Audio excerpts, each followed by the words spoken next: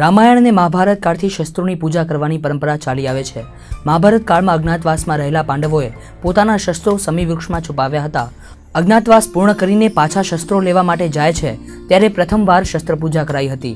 ત્યારથી આ પરંપરા ચાલી આવતી હોવાનું મનાય છે. ત્યારે આજના આધુનિક યુગમાં પણ પ્રજાના રક્ષકો દ્વારા આ પરંપરા નિભાવવામાં આવી હતી.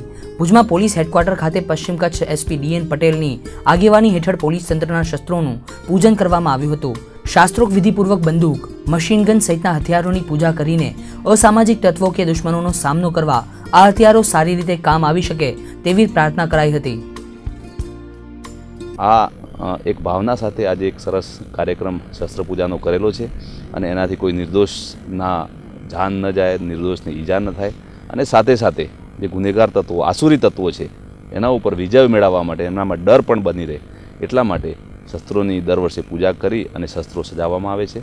આ જ કાર્યક્રમના ભાગરૂપે આજે કચ્છની જનતાને દશેરાના શુભકામનાઓ, દશેરાના પર્વ નિમિત્તે ખૂબ ખૂબ શુભેચ્છાઓ પાઠવું છું અને જિલ્લામાં આમ આખા વર્ષ દરમિયાન જે શાંતિ રહી છે એ શાંતિ આગામી વર્ષોમાં, આગામી વર્ષમાં પણ બરકરાર રહે અને આસુરી તત્વો જે પણ થોડા ઘણા જે છે અને ક્યાંક ક્યાંક જિલ્લામાં ઉપાધિઓ સરતા રહે છે એ આસુરી તત્વોનો નાશ કરવા માટે પરમ કૃપાળુ પરમાત્મા અને માતાજી અમને શક્તિ આપે એવી આજે પ્રાર્થના કરીએ છીએ અને તમામ કચ્છના કચ્છી માળુઓને હું ખૂબ ખૂબ દશેરાના પર્વ નિમિત્તે શુભેચ્છા પાઠવું તો ભુજમાં ક્ષત્રિય સમાજ દ્વારા પણ વાજતે ગાજતે શસ્ત્ર પૂજન કરવામાં આવ્યું હતું. ભુજના આશાપુરા મંદિરેથી ક્ષત્રિય સમાજના આગેવાનો દ્વારા રવાડી કાઢવામાં આવી હતી. પ્રથમ હિન્દુ મુસ્લિમ એકતાના પ્રતીક સાથે મુસ્લિમ બિરાદરોનું સન્માન કરાયું હતું. ત્યારબાદ ભુજના સ્વામિનારાયણ મંદિર સામેના ઐતિહાસિક સમી વૃક્ષનું પૂજન કરાયું હતું. સાથે ભુજની સ્થાપના વખતની રાજાશાહી સાંગનું પૂજન કરાયું હતું. એ પછી શસ્ત્રોનું પણ પૂજન કરાયું હતું. આજે દશેરાનો દિવસ છે. દરબાર પરિવાર તરફથી જે રાજા સાહેબ આપણા વર્ષોથી જેની પરંપરાગત જે આપણે જે વાસાપુરા મંદિરેથી જે એમની જાત્રા નીકળે છે, એને અમે સ્વાગત કર- કરવા માટે અમે સૌ મુસ્લિમ સમાજ અમારો ભેગો થયો છે અને એમને અમે આવકારશું અને કોમી એકતા હંમેશા જાળવે રહે એના માટે અમે દુઆ કરીશું. ક્ષત્રિય સમાજ ક્ષત્રિય સમાજ છે, ક્યારેય પણ કોમવાદી સમાજ રહ્યો નથી. એ બધા સમાજોને સાથે લઈને ચાલવાવાળો ક્ષત્રિય સમાજ છે. અને કચ્છના ઇતિહાસની જો વાત કરીએ, તો કચ્છની ઇતિહાસની અંદર જ્યારે જારોનું યુદ્ધ કહીએ કે શેર બુલંદખાન જ્યારે ચડી આવ્યો, ત્યારની વાત કરીએ આપણે, તો હંમેશા મુસ્લિમો સામેથી મુસ્લિમ આવે છતાં એના સામે કચ્છી લશ્કર સાથે ખંભે ખંભો મિલાવીને અને કચ્છી મુસ્લિમો લડ્યા છે. અને કચ્છની કોમી એકતાની એક પર, કાજોળ પરંપરા છે. જ્યારે આજે દશેરાના દિવસે બંદરીય શહેરો માંડવી અને મુન્દ્રામાં પરંપરાગત રીતે શસ્ત્રપૂજન કરવામાં આવ્યું હતું, પોલીસ તંત્ર અને ક્ષત્રિય આગેવાનોએ શસ્ત્રપૂજા કરીને દશેરાની ઉજવણી કરી હતી.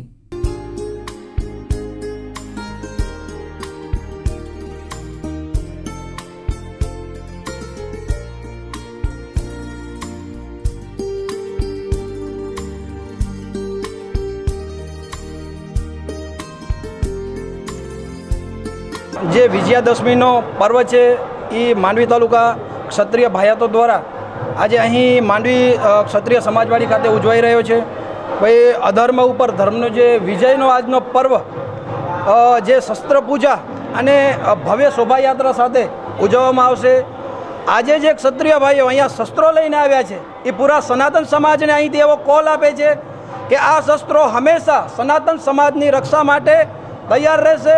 અમારા મુન્દ્રા તાલુકા રાજપૂત ક્ષત્રિય સમાજ વતી આખા તાલુકા અને શહેર બના ક્ષત્રિયો આજે અમારું પરંપરાગત, જે અમારી પરંપરા અને સંસ્કૃતિ છે એ પ્રમાણે આજે અમે બધા ક્ષત્રિય સમાજવાળી મુન્દ્રા મધ્ય ભેગા થઈ અને અમારા પરંપરાગત પોશાકમાં સજ્જ થઈ સાફા બાંધી અને સશસ્ત્ર અમે અગ્નેશ્વર મહાદેવ મંદિર મુન્દ્રા મધ્યે સમી વૃક્ષ નીચે અમારા શસ્ત્રોનું પૂજન કરવા જઈ રહ્યા છીએ. અમારી એક સંસ્કૃતિ ક્ષાત્ર ધર્મની અને રાજપૂત ધર્મની એક સંસ્કૃતિ રહી છે. આજે નવરાત્રિનો અંતિમ દિવસ છે. ત્યારે માતાજીના ગરબાના વિસર્જનનો સમય પાંચથી નવ વચ્ચેનો હતો. ત્યારે ઢળતી સાંજે ભુજના હમીરસર તળાવમાં અનેક ભાવિ ભક્તો ગરબા પધરાવવા આવી પહોંચ્યા હતા. નવ નવ દિવસ સુધી ગરબો પ્રગટાવીને મા આદ્યાશક્તિની આરાધના કર્યા બાદ ગરબા વિસર્જન કરવામાં આવ્યું હતું.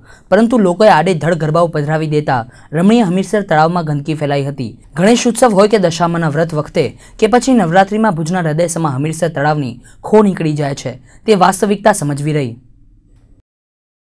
અમે ગોકુલધામ માધાપરમાં રહીએ છીએ નવાવાસમાં પણ આ ગરબો તરાવવાની એક અનેરી જ મજા છે. એકદમ આપણે નવ આપણે બાર મહિના સુધી રાહ જોતા હોઈએ છીએ, નવ દિવસ દીવાબત્તી કરતા હોઈએ છીએ. પછી જ્યારે ટાઈમ આવે છે, ત્યારે તરાવીએ છીએ, ત્યારે આપણે બહુ દુઃખ થાય છે. અને આપણે એમ કહીએ છીએ કે હવે પાછા બાર મહિના જલ્દી થાય પૂરા અને પાછા માતાજી આપણા ઘરે પધારે. આપણે નવરાત્રિનો નવ દિવસ માતાજીની ખૂબ આરાધના કરી પૂજા પાઠ કર્યા.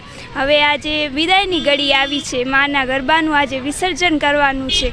ત્યારે અમે લોકો અહીંયા અમીસરમાં વિસર્જન કરવા આવ્યા છીએ. માને આપણે વિદાય આપીએ છીએ.